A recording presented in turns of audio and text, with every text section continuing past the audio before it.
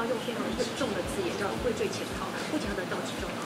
同仁有跟我回报，哦，这位绍兴同仁之前是依照规定来请假到九月一号，我也已经要求政风处主动联系这位同仁，掌握状况。所以他今天还是请假的状态吗？那有没有跟市府这边来联络？那我们这边因为已经有公务员涉案，是不是涉案就停止？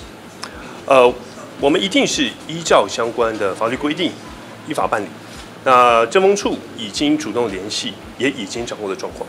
所以有找到这个人，什么时候？呃，后续我想就因为他也是进入司法调查关键人物哦，那后续我们就请呃检调机关来做说明。